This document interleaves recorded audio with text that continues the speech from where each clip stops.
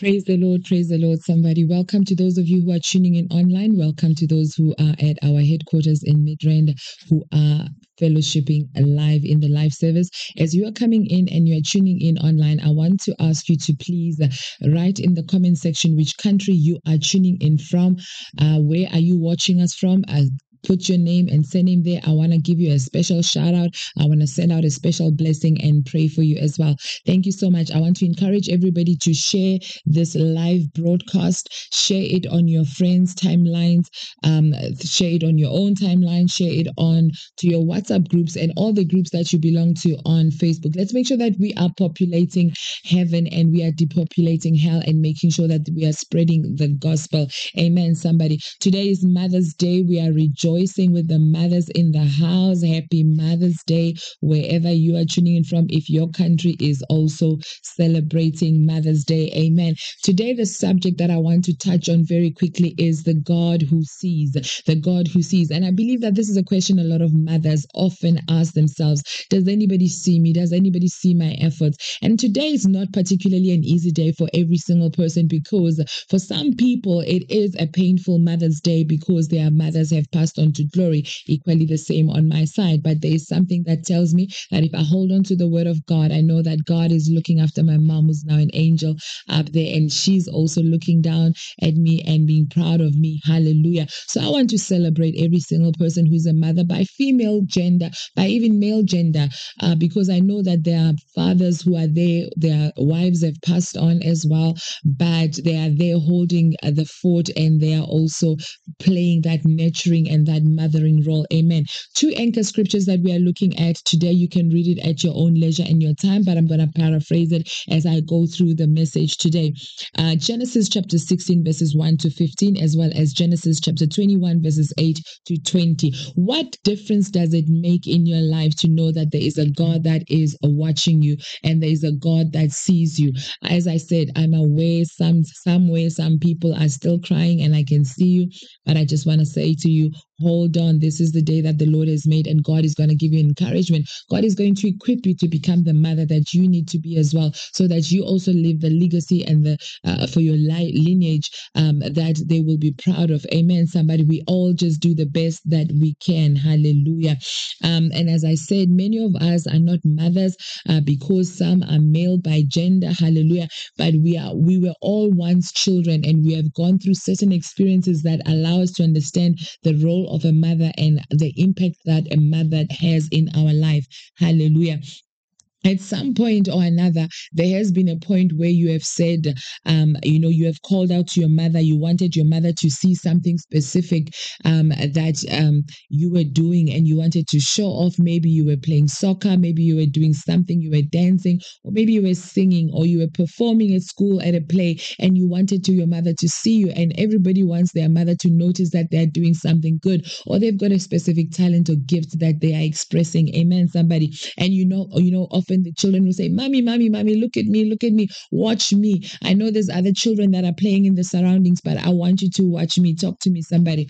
And your mothers would always look at you because a mother, there's something about a mother that just says, Stop, stop the bus. I want to see what my baby is doing. Hallelujah. Even though sometimes you may be doing the most goofiest thing or the most silliest thing or the most funniest thing, but mothers always have time. So we all know what that is like as a child of wanting to be seen by by their mother. Hallelujah. And I believe there's people in our midst this morning that want God to see them because they know that not only is He Abba Father, but He's your nurturer as well. Many of all of, of us have also seen um, um, or been a mom who wonders if God ever sees us because sometimes as mothers we do so much and we also ask ourselves, does anybody see me? Because sometimes you don't get the appreciation or the thank yous that you want to get, even from the people who are in your family, your loved ones, even your children children sometimes, you know, they make so many demands and all these things. And you just wish somebody could just stop and say, I am grateful. Hallelujah.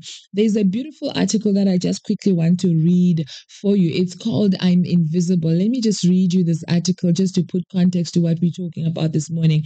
It says, It all began make, make, to make sense to me. The blank stares, the lack of response the way one of the kids would walk into the room while I'm on the phone and ask to be taken to the store. And inside, I'm thinking, can't you see me? Can't you see that I'm on the phone? Obviously not. No one can see I am on the phone. Nobody can see that I'm cooking. Nobody can see that I'm sweeping the floor. Nobody can see that I'm standing on my head in the corner because no one can see me. I feel invisible. I'm doing so much for you guys and you don't see me. Can't you see me that I'm cooking and I'm tired? I'm coming back from work. Can you see me? Am I visible? Some days I'm only a pair of hands, nothing more. Some days I'm the kind of person that they approach and say, Can you fix this?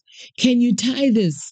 Can you open this? Some days I'm not a pair of hands. I'm not even a human being. And that's how mummies feel, right? I'm a clock to ask, What time is it? What day is it? When are you doing this? When are you buying me this? I'm just a time clock when they are demanding from me, when am I going to do this? What day am I going to do this? What time am I going to do this? How much money am I going to send?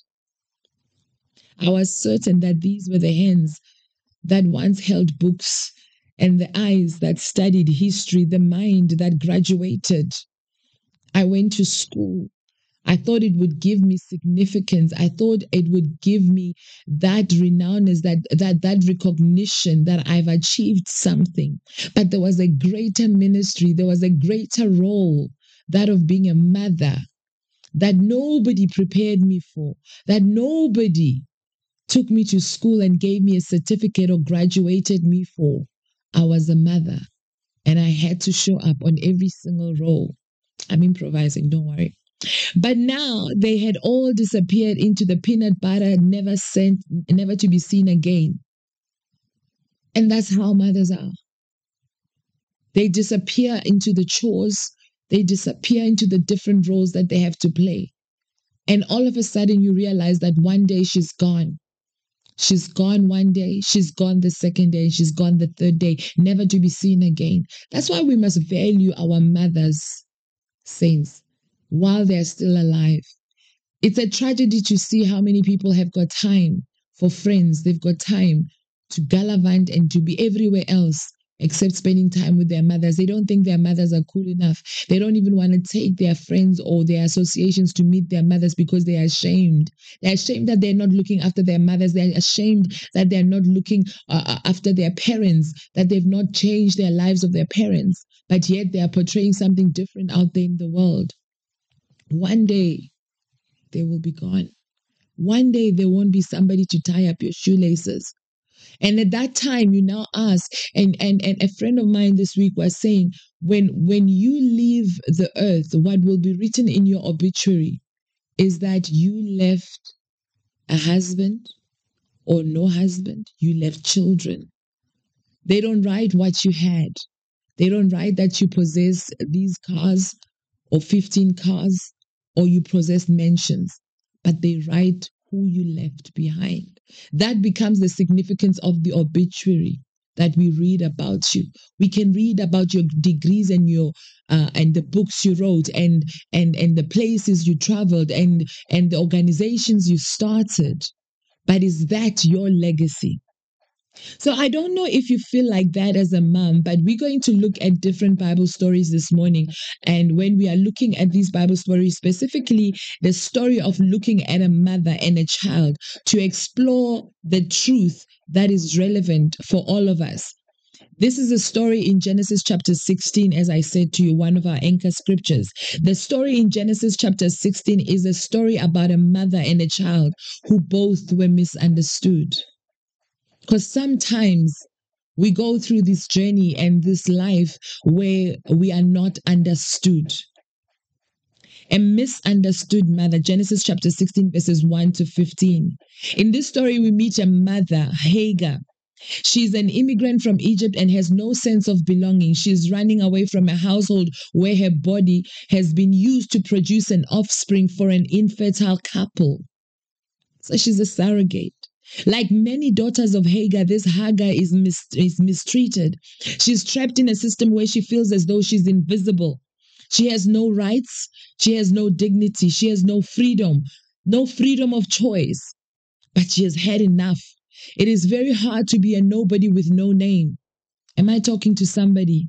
She is referred to by Abram as Sarah and Sarah as the maid, the Egyptian maid. They don't even call her by name, but they just say she's the Egyptian maid. Sarah and Abraham did not really see Hagar as a person. She was there to serve a purpose. They, prob- they probably didn't even notice that she actually ran away.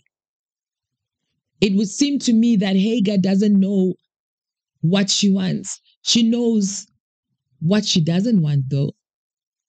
And often at times we get to those positions where we might not necessarily tell you what exactly what we want, but we know what we don't want. We know that we don't want to be mistreated. She doesn't want to be treated as a non person. She doesn't want to be treated as an invisible person. She doesn't realize what her greatest need is until she meets the God who meets the need that she actually has. And she names this need and this God. He says, You are El Roi.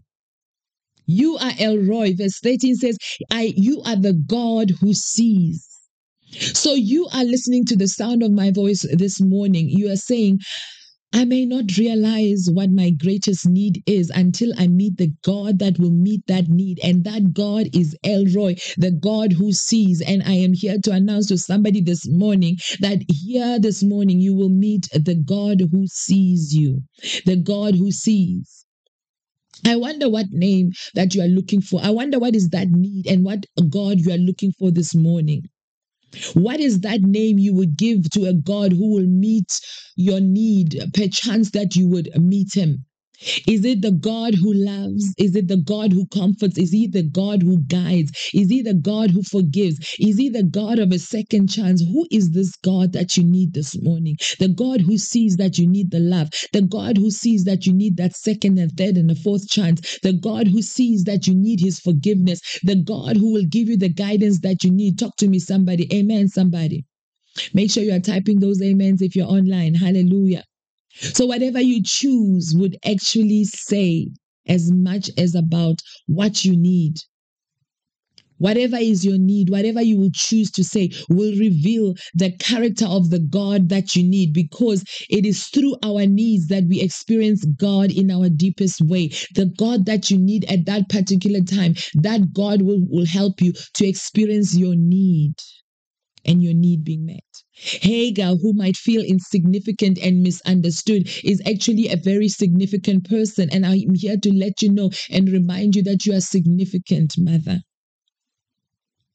Hagar, the Egyptian maid, is the only person in the Bible who gives God a name. Up until this point, children of God, God was the one who was giving us his name. He was the one who was telling us that I am the I am that that I am. God was the one up until this point who said, I am Elohim, I am the creator. He said, I am Yahweh, I am the covenant maker. He said, I'm El Shaddai, I'm the Almighty. But Hagar, and nobody stops and says, He is my El Roi. Before God announces it, He says, I will give you a name. You are the God who sees. You are the God who sees my suffering. You are the God who sees my ill treatment. You are the God who sees how I'm being mistreated. Hallelujah. There are vast, majestic names of God out there, but Hagar needs more than just a vast and a majestic God out there. All that Hagar needed was a God that sees. I speak to that mother that is listening to me this morning. You need a God that sees. You just want to see El Roi. She needs an intimate and a personal God. She needs a God that can meet her at the point of her need. Hallelujah. She says, I have now seen the God who sees me. This is her declaration. I have now finally seen and met the God who sees me. I have thought a long while since about why the statement is so important. Why would Hagar make such a declaration? Hallelujah. And let's look at the importance of the statement. What difference does it make? in your life, in my life, to know that there is a God who sees? What difference does that make as a mother, as a dad, as a man, as a woman, as a young person? Does it matter to you to know that there's a God that sees? I want to announce to you this morning that God sees you. God sees you. Hallelujah. From the moment you start playing with thoughts of marriage, you uh, uh, you want to be seen. I know that little girls we normally play around and we want to be seen because you want to meet your prince charming. You describe him and all that, and you do every single thing as you are growing up to be visible that somebody will notice you and tell you that you are beautiful. From the moment you go through that traumatic situation, you wonder if your pain is being seen. You are wondering if there's a God that sees your pain. No one wants to be lonely. You desperately want to know that somebody is there and that somebody is seeing you. From the moment I was raped personally as a child, when I was 13 years old, I wanted to know God, are you there? Do you exist? Do you actually see me? Do you actually see my pain? Hallelujah. Some days I lived not knowing if there was a God. I did not see him, I did not perceive him, I did not sense him the more my my my my bible teachers kept on telling me that there's a god who understands your trauma the god that will use your trauma to help others. I did not want to hear that. I just wanted to know personally and intimately and personally that there was a god that sees my trauma somebody's listening to me and you are crying because you are in an abusive relationship and you want to know is there a god that sees me? Is there a god that sees me when these children don't even have a thank you for what am i doing for them? Is there a god that sees me? Talk to me, somebody. I want to talk to somebody this morning who, throughout their childhood or throughout their adulthood, has been saying, I really just want to be seen. I want to know that somebody knows what I go through inside my closet. Somebody knows what I'm going through inside this private room that I'm in. I'm talking to that woman who didn't know or doesn't know that God exists, who doesn't know that God can see her. I'm talking to that man who doesn't know the God of this Bible, of this gospel that we preach about, who doesn't know that there's a God that sees you even after you have closed that door and you have shut the door and you have shut yourself in in your prayer closet. There is a God that sees you. Hallelujah. I've realized some things that are true in the Bible. In the book of First Samuel, chapter 16, verse 7, the Bible says, Man looks at the outside appearance, but God sees the heart. It is only God that can see the heart without a x ray. It is only God that sees the heart before you go into the hospital, before they put you in a sonar machine. But there's a God that sees your heart inside of you that goes beyond the outside appearance. Talk to me, hallelujah. I have realized that as a child, when people look at you, they often have misjudged you. Yes, I hear your cry right this morning, hallelujah. They have often uh, misunderstood even your motives for doing certain things. I know what it means to be misjudged or misunderstood, to be thought, thought of that you are bossy while you are just moving in your in in in your lane and you are you are just a leader naturally and and and you are just called to teach i know what it means when you are looking for a god that says god do you see me I know what it means to be hated because you are misunderstood and you are misjudged. Hallelujah. I want to believe that there is somebody this morning who's saying, God, can you see what is inside of me? Can you see beyond the closed doors in my closet, in my prayer room? Man looks at the outside appearance, but God looks at the heart. And of course, it is only God that can actually see the heart of men. Many years later, I discovered that God sees my secret thoughts and God lives in my secret world. Many years later, I then began to understand that God knows me and God knows you. There is nobody that knows you like God. Many years later, I knew that God knows every single inch of my room. Hallelujah. If ever there was a truth about uh, a moment that was written in the Bible, in the book of Matthew, chapter 6, verse 6. It says, When you pray, go into your room and close the door. There's a reason that scripture was written there because sometimes in the crowd and in the noise of the outside world, you might miss the fact that there's a God that is looking at you. When you go into your room, shut the door, close the door, when you pray and you start to have an intimate relationship with God, and when you start to talk to God and you understand that there's a God that sees you, that wants to answer you, that wants to block out all the noise and the other voices. When you go into that prayer room in your closet, you've gotten it finally. You understand. Hallelujah. So we all have a fundamental need to be seen. That's why we say and utter those words watch me mommy. Look at what i'm doing. Look at how many flips i can do. Look at how i performed at school. Look at how how much progress i'm making. Watch me daddy. Hallelujah. So you don't really understand human nature unless you know why. Even sometimes when children are playing they keep on looking for their parents because they want their attention. So this morning, I just want to comfort somebody's heart and say there's a God that sees you. In the book of Psalm, chapter 139, verse 16, the Bible says, Before I formed you, I saw you. My eyes saw your unformed body. Before I formed you, that means before conception, He sees you.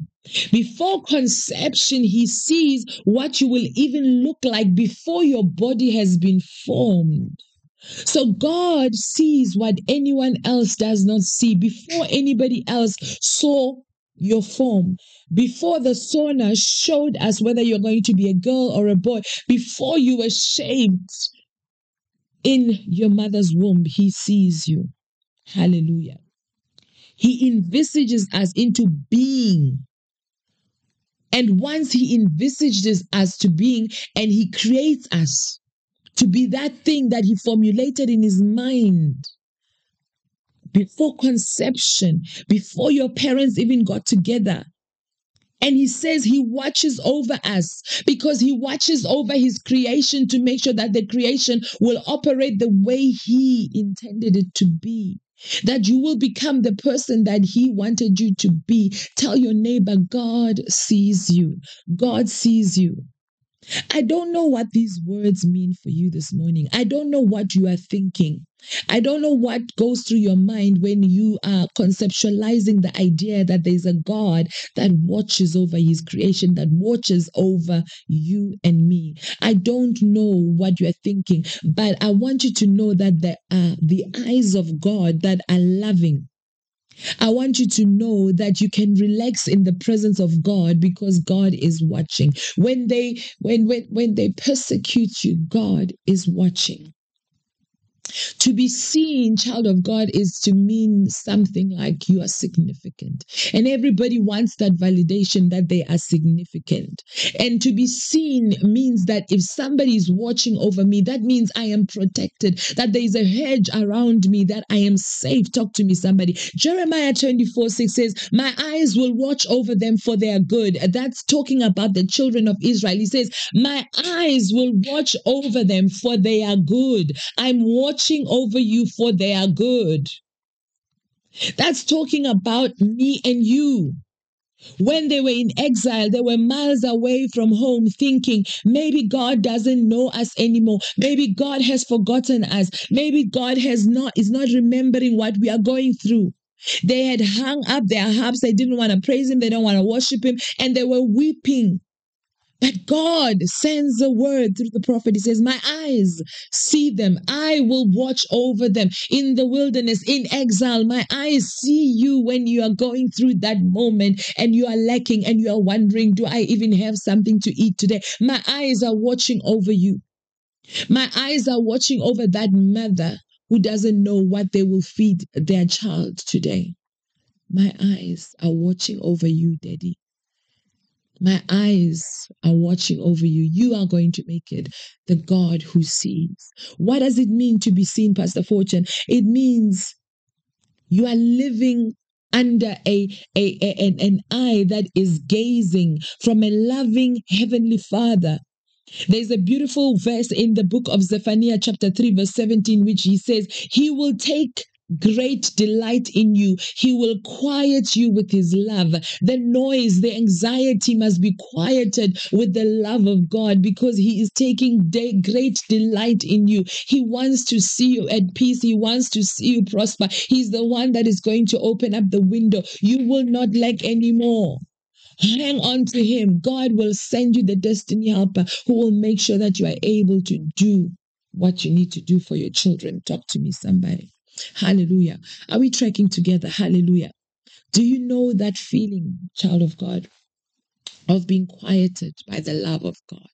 Where you're just quieted by the love of God, where you just have peace that surpasses all understanding, where where where you just dare to sit and be loved and be seen. When you are loved, you are seen. Somebody shared a story with me this morning before they went to church, and and and they said there was a couple and and and this man sacrificed so much for this young girl they met when they were still young and he paid for her school fees. And this child went through and graduated. And the first thing that this girl did when they got married was to buy this man a a, a dodge caliber or something like that a beautiful car.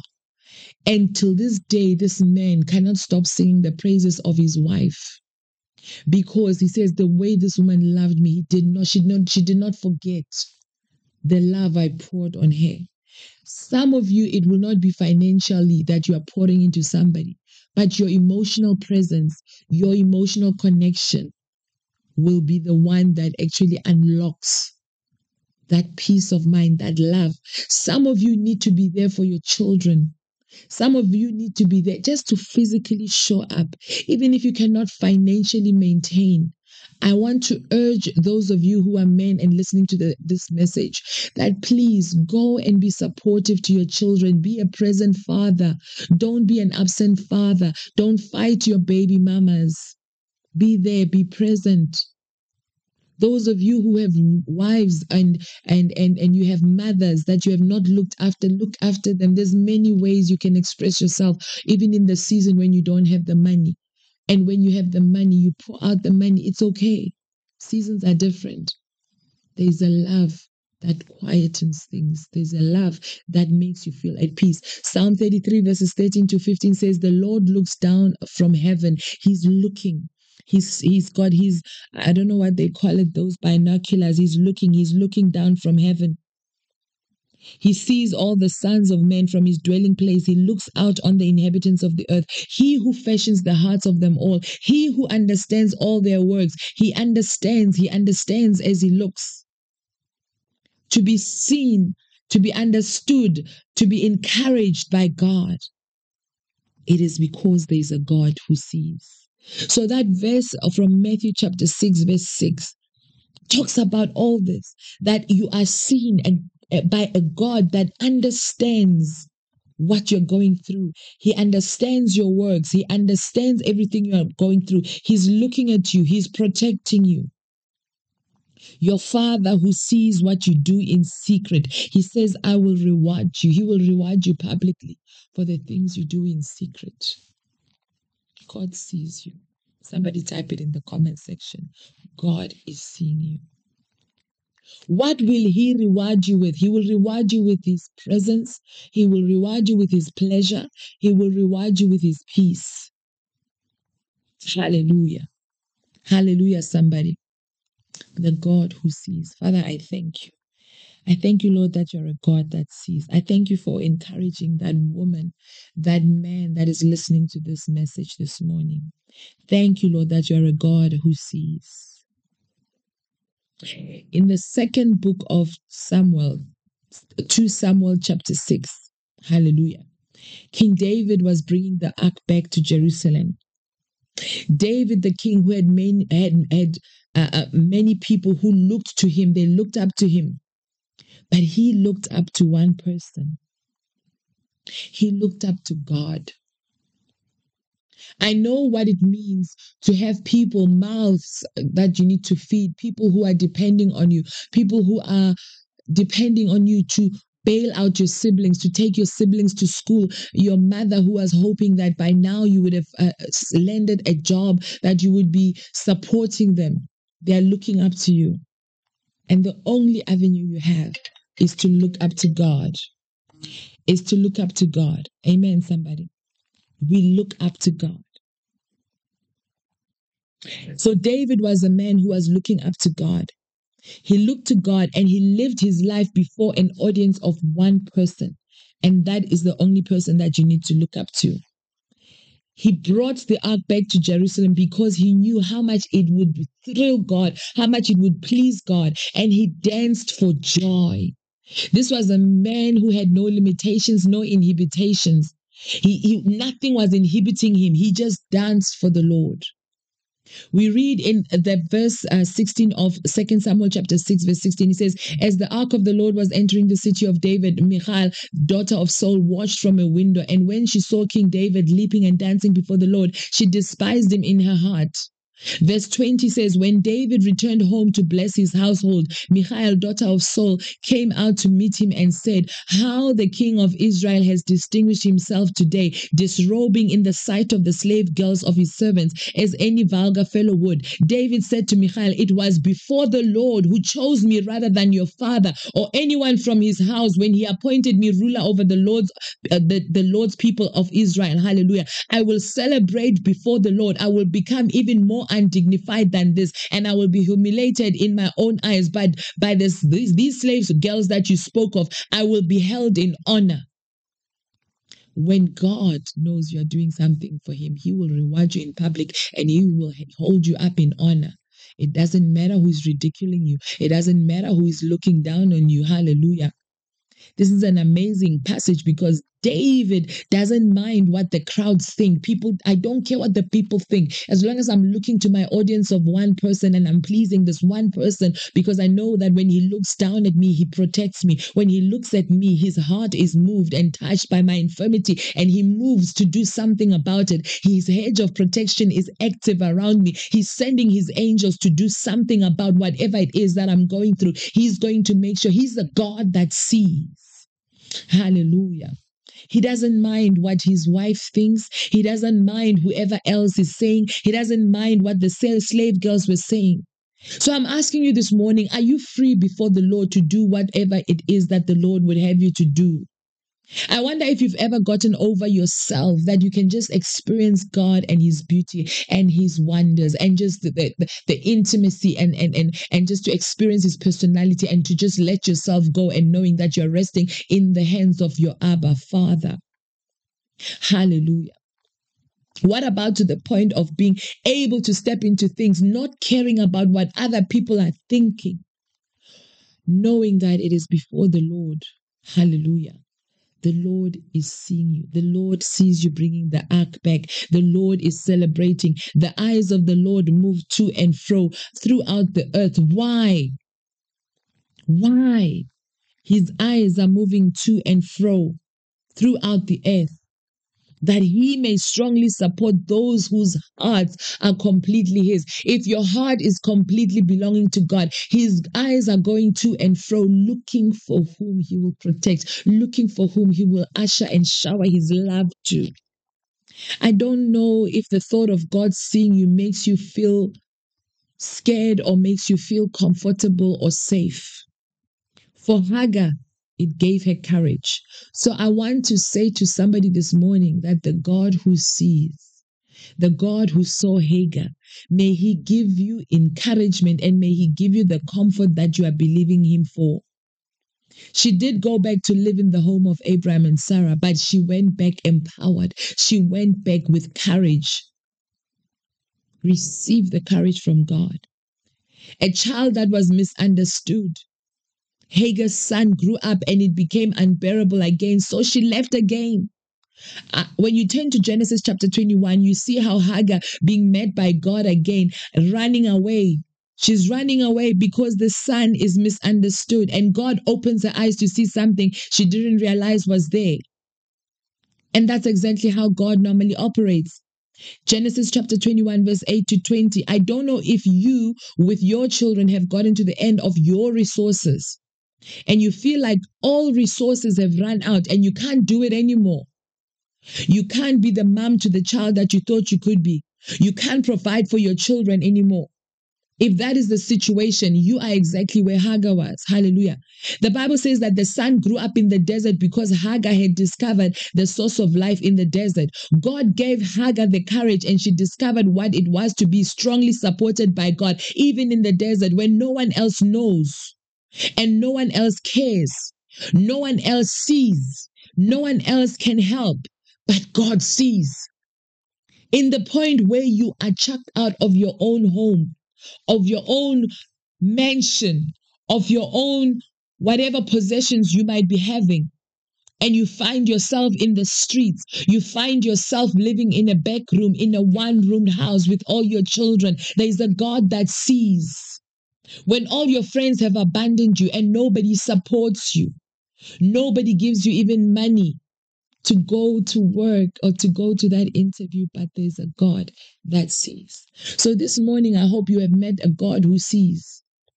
When you come to Him and you look back at your life and you look, look back at the journey that you have traveled, and you can pinpoint the times when you realized that God was watching over you, because I, I strongly believe that as you look back on your life, you will see that there was a God that sees, that we worship a God that sees.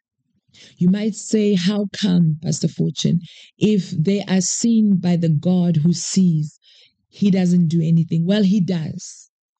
I want to tell you that he definitely does something about it.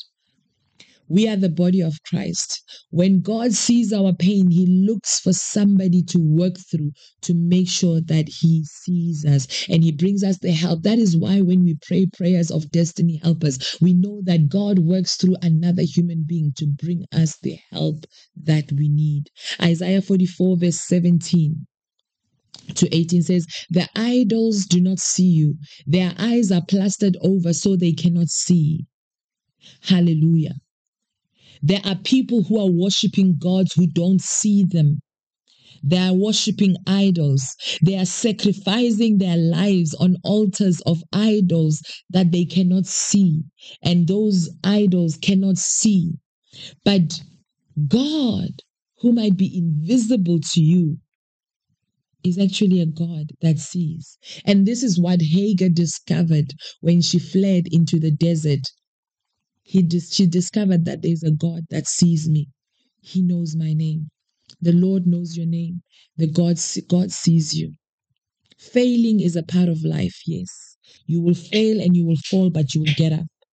We fall and we get up. God can't stop everything that hurts us at any particular time. We have to go through that pain through so that we go through life's experiences and be empowered and move on to the next level. But we have to choose our own dependence on God so that we graduate out of that classroom, so that we come out of that valley season, so that our dry bones can live again. The sooner you get dependent on God and you say, God, you are the God who sees me. El Roi, come to my rescue. Step outside of your situation. Step into what God has for you. God has the best for you. Hide yourself in God. Hide yourself in God.